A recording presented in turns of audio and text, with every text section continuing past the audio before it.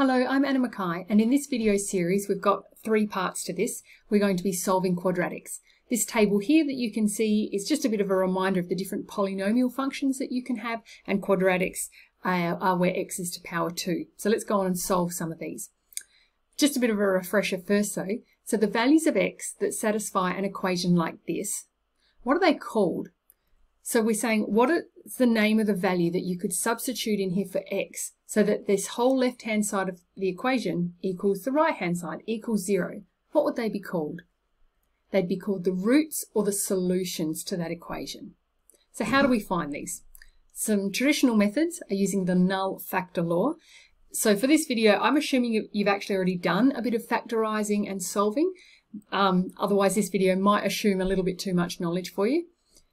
And so that law is this, where if you have two numbers that are multiplied together and give you zero, what could those numbers be? For example, if A and B were 3 and 4, well, that multiplies to give you 12, so that can't give you 0. What would A or B have to be? One of them at least has to be 0, because any number multiplied by 0 gives you 0. So you could have 0 and 4, or 3 and 0. And so that's how the null factor law works, that A equals 0 or B equals 0. Then the quadratic formula here, which I'm assuming you've done before, but we'll recap in the next video. Completing the square is another technique and using technology. So your graphics calculators using either um, the equation menus to solve um, to solve equations um, in Solver or graphing and looking for the roots or the x-intercepts. But for this one, we're using factorization. So I'd love you to be writing these examples down and doing them with me. So the first step whenever we do factorization is always look for a common factor. And in this first one, we have one, which is x. So we're going to factorize that out and writing what's left over in each term. So when we factorize out an x here, we're left with a 3x in the first term and a 5 in the second term, all equal to 0. And here's where the null factor law kicks in. There's two things multiplied together now, and therefore one or both has to be 0. And so therefore we, we would write therefore x is equal to 0 or 3x plus 5 is equal to 0. And let's keep solving for x. Well, the first one is solved, and then doing some rearranging here. Now, at this level of maths, you don't necessarily have to show every step of the way. You could have gone from this first line down to this last line here. That's fine to do that much rearranging. Solving for x, x is 0 or negative 5 on 3. Second one here. So to be able to use the null factor law, we need to gather all of our terms onto one side. We traditionally do the left-hand side, and therefore have the right-hand side equal zero. Is there a common factor? No. Now, this is the technique which I'm assuming you've done before. Sometimes we call it the AC method, which is where term one, oh, term one, two, and three. So the coefficient of x squared is a, the coefficient of the x is b, and the, co the constant term on the end is c. So the AC method is where you multiply them together and to see what you get. So AC, if you like, is negative 6. I sometimes do this off to the side. And then you're often looking for pairs that multiply to give you negative 6, but add to give that, the middle term the negative 5. Because if you once you get your brackets, if you were to expand them out, this is what it would um, expand out to and the like terms would collect. In my head first, I don't worry too much about the negative. I just start thinking of the pairs this is an interesting one though, because the factors that could times together to give you 6 might be um, 1 and 6 and 2 and 3. How do they add to give negative 5 though? You'd need to have negative 2 and negative 3. This is negative 2x and negative 3x technically. But what do they multiply to give? They actually multiply to give a positive 6. So that's not going to work.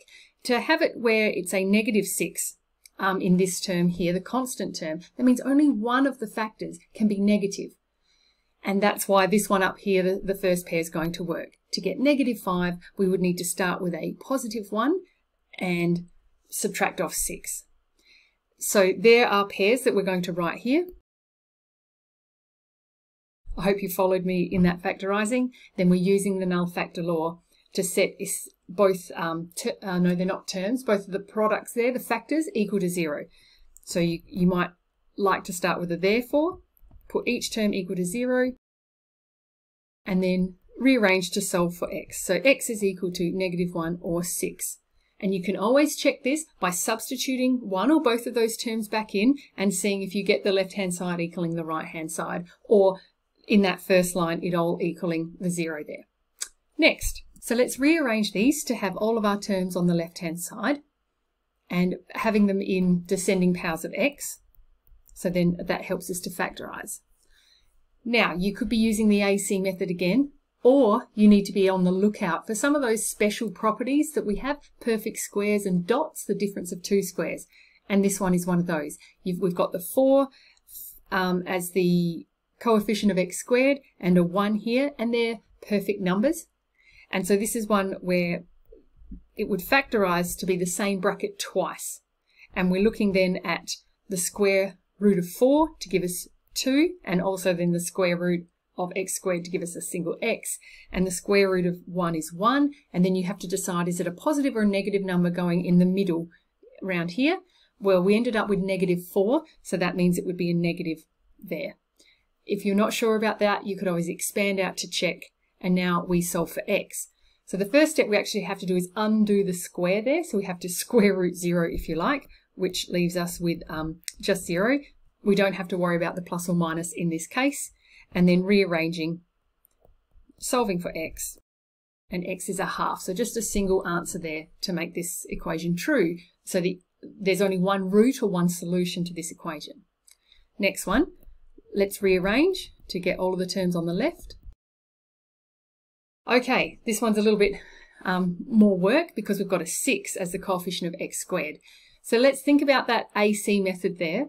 Um, you could be listing off the factors of 60, where you've got uh, 10 times by 6 there, and you might list off your pairs, things like 2 and 15, 3 and 20, 4 and 15, 5 and 12. However, that would be much simpler if we didn't have the 6 there. So if the, um, the constant term was 60 on its own. So this technique might have to go to the side the technique that I was taught when I was in year 10 by my maths teacher is then, how do I explain it? I, it's to do with the cross multiplying method. And so I'm going to split that six. We traditionally do. It's often not left as six. It's often going to be a, a 3x and a 2x. I'm just going to write it this way around. And there's a 3x. And so essentially what I'm going to be writing here are the two brackets that we'll end up with, but the terms in each of them will be cross multiplied with the opposite one. Let me try and explain that to you. So then we're looking at two things that multiply to give the negative 10. I'm thinking 2 and 5. So let's try that first. What if we had a 2 here and a 5 here? Now, which combination of positives and negatives? So to give us negative 10, we need one of them to be negative. And then what we have to do is consider this cross multiplying, because if we were to write those brackets out next to each other, they're the terms that would multiply together. So what have we got here? We've got a 2x multiplied by a 5 would give a 10x, and then 2 multiplied by 3x gives us a 6x. Obviously, we'd need to make one of them negative. Is any combination of that, though, going to end us up with 11, negative 11? Probably not. Let me try you another, show you another pair. Um, I'll just do that under, no, I'll do it off to the side here. Hopefully I've got enough room. So we've got 2x and a 3x. What about if we switch the 5 and the 2? So put the 5 up in that bracket and the 2 down here. When we're multiplying these together, we would have a 4x here and a 15x. Ah, I reckon there's a combination of 15 and 4 there that would end up with negative 11x. So if we started with a positive 4 and and subtracted off 15 we'd be at negative 11. So the positive 4 means we must put a plus there, and to have negative 15, the negative goes with the negative 5 there. So there are two brackets. It doesn't matter which order you then write them in. If you're not sure, you could always expand out and check. And then we use the null factor law, putting each bracket equal to 0 and solving for x.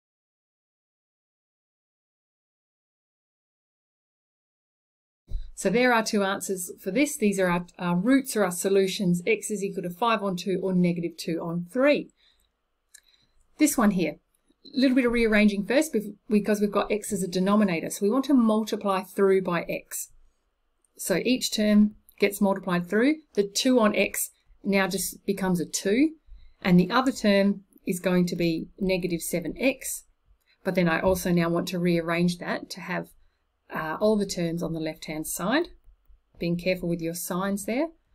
Okay, now we need to use the AEC method again, or this sort of cross multiplication. So the way I like to set it up is to start trying to imagine the brackets that I'm going to get. One bracket will have a 3x in it and one will have an x. And then I need to split that 2 into its factors to see how it would multiply. I can already see that, well, I'll do the wrong one for you first. If it was positive 2 and a 1, positive 1, and you cross multiply that, you would have a 3x coming from there and a 2x coming from the other multiplication. That's only 5x. So that one's not going to be right. So I can already see the, that the 2 and the 1 need to go the other way around so that when you cross multiply, that gives you a 6x and that gives you um, a single x and the 6x plus x gives you 7. And so there are two brackets. 3x plus 1 and x plus 2 is equal to 0 and solving for x. Now I suppose at this level of maths that you're at, you are welcome to start skipping a few steps. So you're welcome to do the null factor law sort of in one go, but making sure you do show as many steps as you feel is necessary. You might need to check with your teacher on that one. Last bit here, um, just a caution if you like. A classic error that students sometimes make when they're solving for x is thinking, oh, x is a common factor. I can divide through by that, right? No, you can't. You can if it was a number. So consider this one here. Uh, the in, well, I'll show you the correct solution. So we would rearrange to make one side equal to zero. You take out a common factor and then apply the null factor law to get um, these two values here, zero or five. The null factor law means you have to have something being null, being zero, uh, to apply the null factor law. So here, an incorrect solution would be this, where people think, oh, I'm going to divide through by x. It's okay if you think that. It's really common mistake to make while you're still learning. And so people cross them out and go, oh, okay, we've got x is equal to just 5 then. That's one of the solutions, but you've now discounted the other one. So that's a classic trap to that people fall into, so beware of that one. The next video in this series will be completing the square. Please uh, like the video and subscribe to the channel and share it with somebody else that might need help with this stuff too. Thank you.